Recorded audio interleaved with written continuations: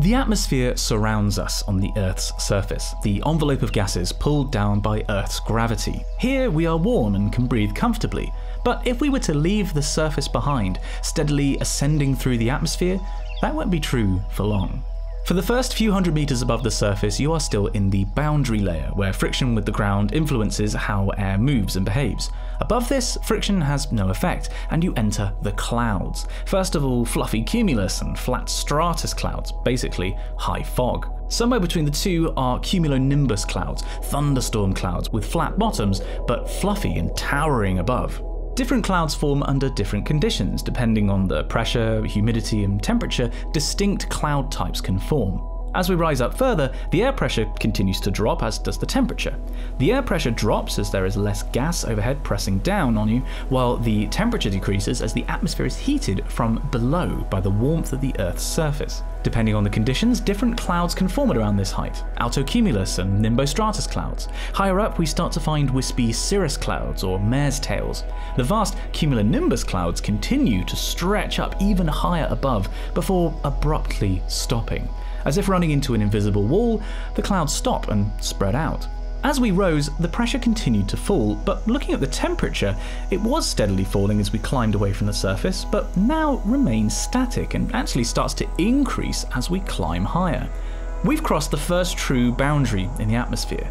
Below was the troposphere, while we are now in the stratosphere, a distinctly different layer. Here, temperature increases as you get higher, though it's still extremely cold, and the air pressure less than a quarter what it was at the surface. No human can survive here for more than a few minutes without asphyxiating or freezing. Commercial jets fly here in the lower stratosphere though, as there is a near total lack of turbulence. In the troposphere there's lots of vertical mixing and vertical motion of air, while here in the stratosphere there is none of that.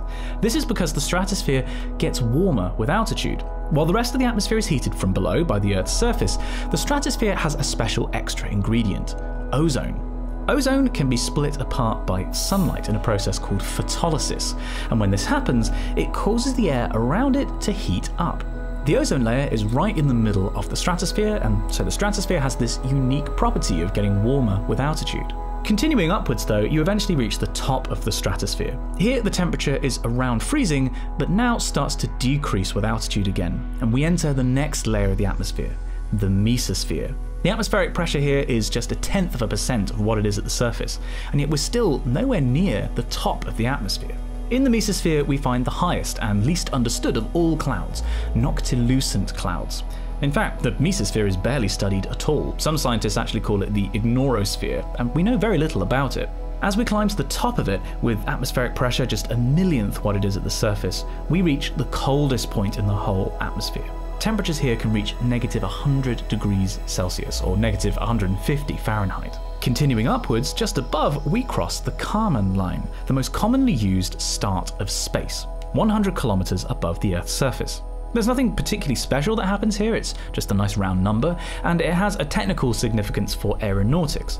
Below this height, you can fly a plane without being in orbit around the Earth, while above it, you must be in orbit. Below the Kármán line, you do aeronautics. Above it, you do astronautics.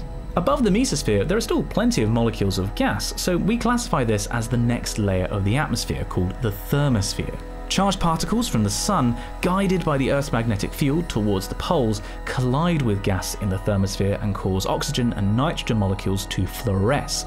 We see this glow as the aurora borealis and australis. The temperature again rises as we get higher, but this time not because of ozone. Here, high energy radiation from the sun is absorbed by molecules of gas, and as there are so few of them now, these excitations by radiation hugely raise the temperature of the gas. And as the thermosphere is heated now from above by the sun, this means the effect is greater at the top.